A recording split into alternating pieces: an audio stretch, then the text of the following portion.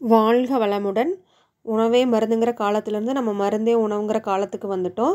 நம்ம சாப்பிட்ற சாப்பாடை முறையாக சாப்பிட்றது மூலமாக மருந்து இல்லாத வாழ்க்கையை வாழலான்னு ரெண்டாயிரம் வருஷத்துக்கு முன்னாடியே வந்து வள்ளுவர் பெருந்தகையார் சொல்லியிருக்கிறாருங்க. அவர் என்ன சொல்லியிருக்கிறாருன்னா மருந்தென வேண்டாவாம் யாக்கைக்கு அருந்தியது அற்றது போற்றி உணின் இந்த குரலுக்கான அர்த்தம் என்னன்னு பார்த்தீங்க அப்படின்னா நம்ம முதல்ல சாப்பிட்ற சாப்பாட்டு ஜீரணமானதுக்கு அப்புறமா அடுத்த வேளை உணவு உண்டு வந்தால் நம்ம உடம்புக்கு மருந்துன்னு எதுவுமே தேவையில்லை. நம்ம சாப்பிட்ற சாப்பாடே நமக்கு ஆரோக்கியத்தை கொடுக்கும்.